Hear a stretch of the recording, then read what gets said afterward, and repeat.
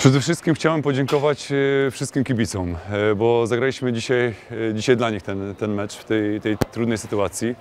Tak, tak naprawdę no, myślami jesteśmy, jesteśmy gdzie indziej, bo jesteśmy przy, przy sprawie utrzymania tego projektu, o, o który tak wszyscy walczyliśmy. Pokrótce powiem, że y, bardzo późno zaczęliśmy ten pro- projekt realizować i od samego początku, no według zapewnień sponsora i przy zgodzie pełnej sponsora, e, mieliśmy zrobić coś e, wyjątkowego i aby zrobić coś wyjątkowego trzeba było zebrać wyjątkowych ludzi, którzy w swoich karierach e, zrobili wyjątkowe rzeczy.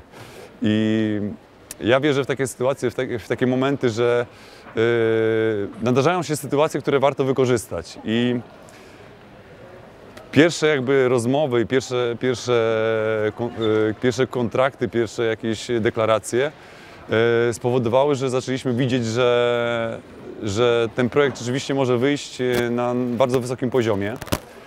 Mimo tego, że no, brakowało nam polskich zawodników, bo już tu polskich zawodników- nie było na rynku.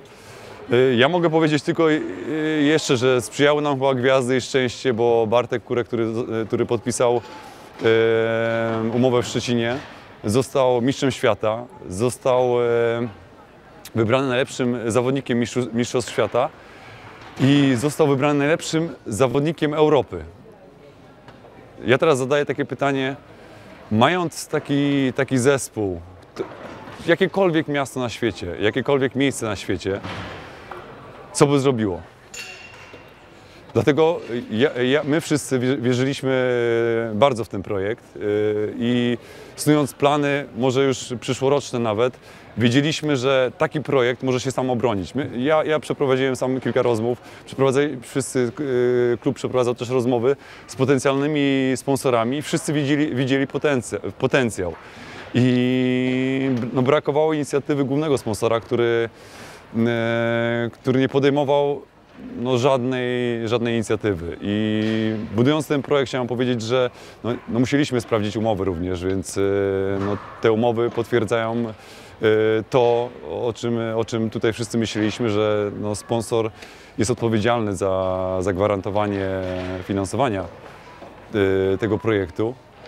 E, I cały ten projekt był oczywiście konsultowany, wydatki były konsultowane i wszystko było robione mm, tak, aby jak naj, najefektywniej wykorzystać, e, wykorzystać pieniądze, dzięki czemu zbudować jak najmocniejszy zespół. I mi się wydaje, że my do tej pory zrobiliśmy wszystko, może, może już nawet więcej niż wszystko, bo ta sytuacja, która wydarzyła się, się obecnie, ona nie, nie powinna mieć miejsca.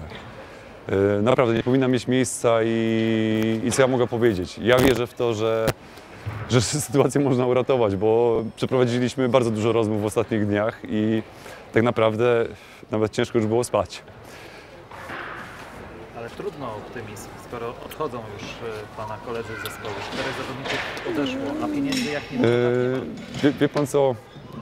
Ja wierzę w to, że są sytuacje bardzo trudne. Teraz jesteśmy w sytuacji takiej krytycznej. Dwa dni temu pojawiło się, pojawiło się światełko nadziei i gdyby była podjęta decyzja, a była możliwość podjąć decyzję, to byśmy mogli uratować ten projekt. Naprawdę. Wierzcie mi, że mimo różnych sytuacji, odejść, nie odejść, mogliśmy uratować, bo każdy z nas, tych zawodników, który tutaj, który, którzy tutaj byli w tym zespole, wierzył, że to może być coś fantastycznego.